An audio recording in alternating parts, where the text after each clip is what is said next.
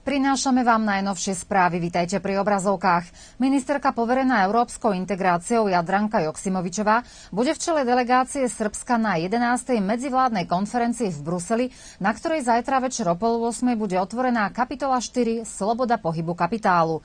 Po medzivládnej konferencii bude prebiehať aj tlačová konferencia, na ktorej sa okrem ministerky Joksimovičovej prihovorí aj komisár Európskej únie pre rozšírenie a susedskú politiku Oliver Varhej a minister práce Fín Fínska Tutitupu Rajmen. Joksimovičová sa zajtra o 11. po prvýkrát oficiálne stretne s novým komisárom pre rozšírenie.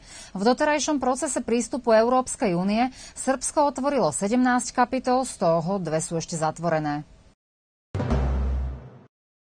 Dnes si pripomíname Medzinárodný deň boja proti korupcii. Pri tejto príležitosti Ministerstvo spravodlivosti odkazuje, že rok 2019 bol venovaný aj boju proti korupcii, lebo Srbsko urobilo rad dôležitých krokov v tejto oblasti, ktoré boli verifikované zo strany odborných telies Európskej únie.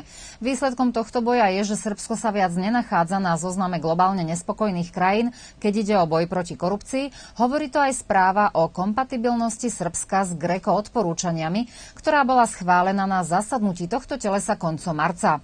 Tohto roku je schválený aj nový zákon o prevencii korupcie, ktorého cieľom je zabezpečiť ochranu verejných záujmov, zmenšenie rizika vzniku korupcie a posilnenie integrity a zodpovednosti verejných orgánov a verejných funkcionárov. Zamestnanci Pošty Srbska, ktorí štrajkujú, neprijali návrh predstaviteľov vlády, aby sa zvýšili platy o 17% tým, ktorí vykonávajú technologické práce a ktorí majú najmenšie príjmy a neprijali ani to, aby sa ostatným zamestnancom zvýšili platy o 9% povedala dnes predsednička syndikátu Nezávislosť v Pošte Srbska Snežana Markovičová. Pre Taniuk vyhlásila, že včera sa konali tri schôdze s predstaviteľmi vlády, zamestnávateľmi a zamestnancami a zatiaľ nemá informáciu, či v týchto dňoch bude aj nejaká ďalšia schôdza. Podľa informácií, ktorými disponuje väčšina pôšt v Srbsku, aj ďalej sa nepracuje, keďže nepracuje ani hlavné poštové centrum. Priestoroch spolku hrdinu Janka Čmelíka v Starej Pazove sa počas celého víkendu v sobotu aj nedeľu od 10. do 18. hodiny konal novoročný bazár, na ktorom svoje ručne robené práce a výrobky vystavovali a predávali ženy z rôznych združení z celej Staropazovskej obce. Zišlo sa tu do 20 vystavovateľí, ktoré ponúkali vianočné a novoročné dekorácie, medovničky, koláče, háčkované či štrikované veci, magnety, maľované suveníry a prítomní sa mohli občerstviť aj langošmi alebo tradičnými pazovskými nadlackami. Okrem predaja cieľom tohto podujatia bolo predvianočné kamarátenie, prezentovanie hodnotných ručných prác našich šikovných žien a tiež výmena skúseností, ideí či receptov. Aj keď bol záujem verejnosti priemerný a vítaná by bola väčšia návštevnosť, atmosféra v spolku bola počas obidvoch dní vynikajúca. Novoročný bazar organizoval miestny odbor Matice Slovenskej Stará Pazova a Združenie pazovských žien. Podobný bazar v organizácii Evanielickej fary sa uskutoční v nedeľu 15. decembra v popoludnejších hodinách. Ekuména alebo ekumenizmus je snaha o zjednotenie všetkých cirkví na svete. V predvianočnom čase je táto téma znovu aktuálna, pretože všetci, bez rozdielu na vierovýznanie, sme rovnakí a všade sú dôležitými hodnotami láska a dobrota. S týmito hodnotami sa stretli aj veriaci troch cirkví, evanielickej, rímsko-katolíckej a pravoslávnej, a to v nedeľu večer v evanielickom kostole, kde bol zorganizovaný ekumenický spevácky koncert. Staropazovský evanielický farár Igor Feldy v mene domácich privítal privítal hostí, medzi inými zástupcu veľvyslankyne Slovenskej republiky v Srbsku Igora Vencela, Jozadu Sparu, farára rímskokatolíckej cirkvi zo Zemunu, ďalej spevácky zbor Svetej Cecílie zo Zemunu a tiež jednotlivcov pravoslávnej viery. V rámci programu odznelo mnoho krásnych nábožných piesní v podaní všetkých troch cirkví.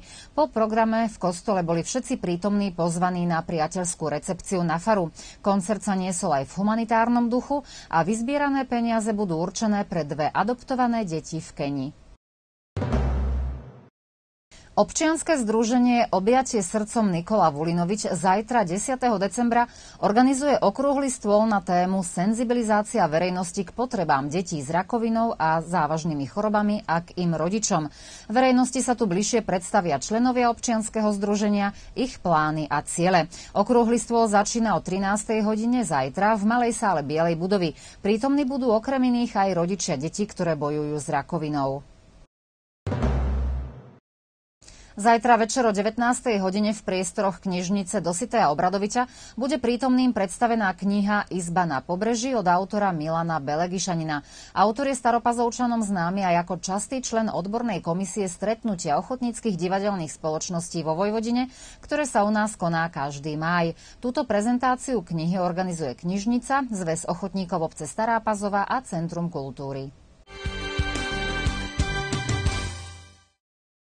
Sobotu v Starej Pazove v rámci 10. kola basketbalovej ligy Srbska basketbalisti Dunaja vyhrali nad Vršcom a to výsledkom 90-79, čím si zapísali v poradí už druhé víťazstvo. Domáci od začiatku nastavili svoj rytmus a viedli už v prvej štvrtine.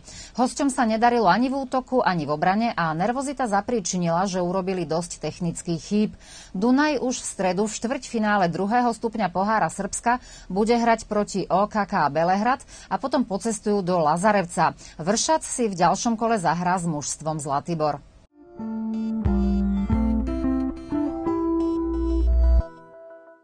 V útorok očakávame zamračené počasie, po celý deň oblaky a popoludní možný aj slabý dážď. Teploty na toto ročné obdobie sú vyššie od 7 do 10 stupňov. Vietor bude fúkať zo severu. Aj dnes sa pozrieme do meninového kalendára. V týchto dňoch oslavujú ženy, dnes Izabela, zajtra Judita. A zajtra sa prihlásime opäť s novými správami.